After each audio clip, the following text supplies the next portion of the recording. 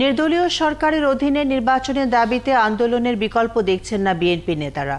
আগামী কয়েকদিনের মধ্যে একটি নিরপেক্ষ নির্বাচন কমিশন গঠন এবং নির্দলীয় সরকারের রূপরেখার দাবিতে ধাপে ধাপে আন্দোলনের ঘোষণা দেবে বিএনপি। দলের কেন্দ্রীয় নেতাদের সাথে তিন দিনের ধারাবাহিক বৈঠকে আন্দোলনের পক্ষেই মত দিয়েছেন বেশিরভাগ নেতা। সেই সাথে সংগঠনকে শক্তিশালী করার কথাও বলেছেন তারা। আরও জানাচ্ছেন শফিক আহমেদ।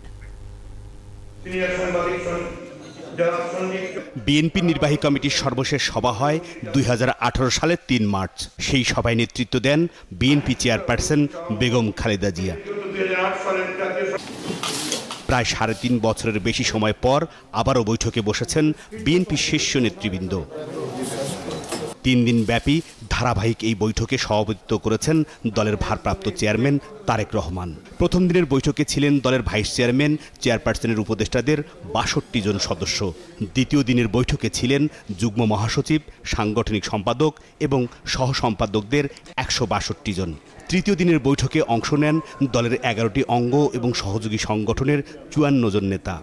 ধারাবাহিক এই বৈঠকে নিজেদের ব্যর্থতা, সংগঠনের দুর্বলতা নিয়ে আলোচনার পাশাপাশি নির্দলীয় সরকারের অধীনে আগামী সংসদ নির্বাচন খালেদা জিয়ার মুক্তি এবং আন্দোলনের কৌশল নিয়ে কথা বলেন নেতারা।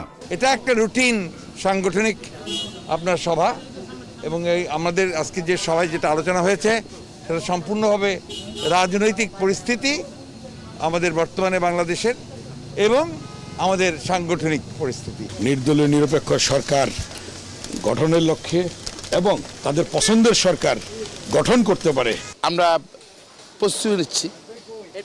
আন্দোলন সংগ্রাম হ্যাঁ দেশের রক্ষা আন্দোলন। ক্ষমতাসীন দলের কার্যনির্বাহী কমিটির বৈঠক দেখেই বিএনপি এই সভা ডেকেছে কিনা এমন প্রশ্নের জবাবে নেতারা বলেন এটি তাদের পূর্ব নির্ধারিত সভা ছিল।